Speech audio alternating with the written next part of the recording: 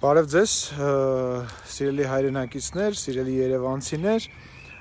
Ես կրկին գտնվում եմ այն հիասքանչ այգում, որը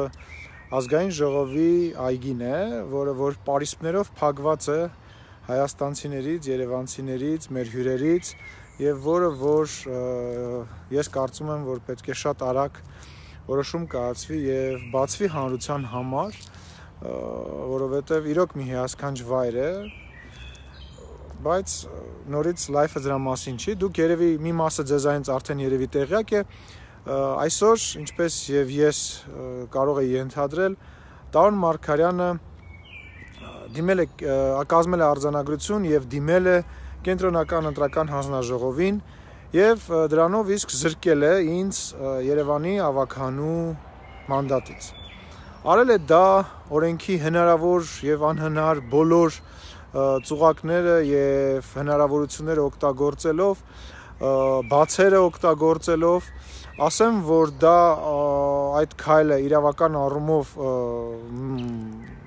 շատ վիճելի է եւ մեծ հաշվով անիրավական, որովհետեւ փաստացի ինձ հնարավորություն չի տրվում, չի տրվել, որ ես կարողանամ ընտրություն կատարել եւ ինքը դա արել է ոչ թե իրավական հիմքերից ելնելով, այլ արել է, որպիսի ձերբազատվի ինձնից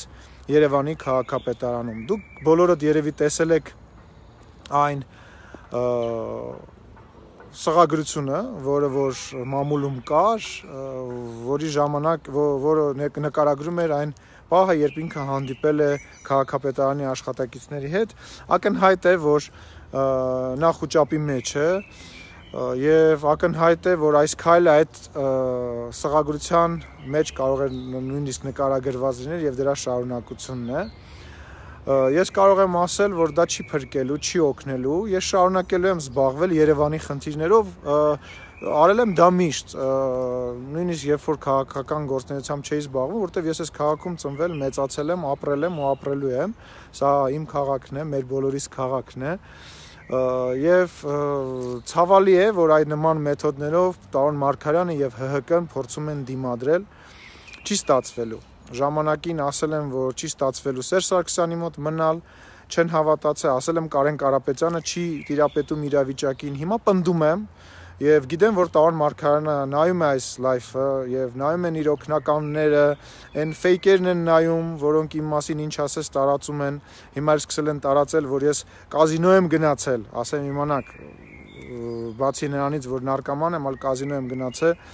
լավ եմ արել գնացել եմ, իդեպ անդրադառնալով ասեմ, ես պետական պաշտոնյա չեմ եղել, պետության փողերը չեմ գողացել եւ կարող եմ իմ ժամանցը հասկացնել օրենքով սահմանված յուրաքանչյուր ձևով։ Ինչևէ, դրա մասին չի խոսքը կրկնում եմ չի օգնելու եւ ես ավելի համառ ձևով զբաղվել եմ Երևանի խնդիրներով եւ դուք դա շատ շուտով կտեսնեք ինչպես նաեւ ուզում եմ ասել որ պատրաստվում եմ մոտակա ավականի ավականու նիստին խնդրել ելք խմբակցությանը որը որ ավականի ավականիում ներկայանում ինձ հնարավորություն տալ ընձեռնել Ես կմասնակցեմ ամսի 30-ին կայանալիք ավականու նիստին ցավոք այս պահին չեմ կարող որպես ավականի մասնակցել, բայց ես կմասնակցեմ այդ նիստին։ Շնորհակալ եմ պին դեղեք, մնացածի մասին կիմանաք շուտով, այսօր լինելու եմ երկու եթերներում, հերոստա եթերների մասին է խոսքը, որի մաս արդեն այս սրա մասին ավելի մանրամասը կխոսեմ։ Շնորհակալ եմ, սիրում եմ ձեզ, Տեր կանգնենք մեր Երևանին, Տեր կանգնենք մեր երկրին։